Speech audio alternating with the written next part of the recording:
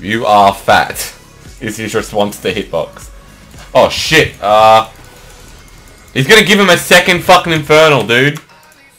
No! Oh, can I steal it? Yes! Yes! Woo, lad! Woo, lad, boy! I'm so fucking pumped.